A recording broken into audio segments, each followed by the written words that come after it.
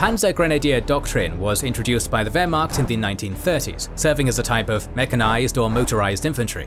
In the late 1950s, the Bundeswehr decided to readopt the Panzergrenadier doctrine instead of adopting American doctrine for mechanized infantry. In modern warfare, Panzergrenadiers act as mechanized infantry and escort tanks and other armoured vehicles.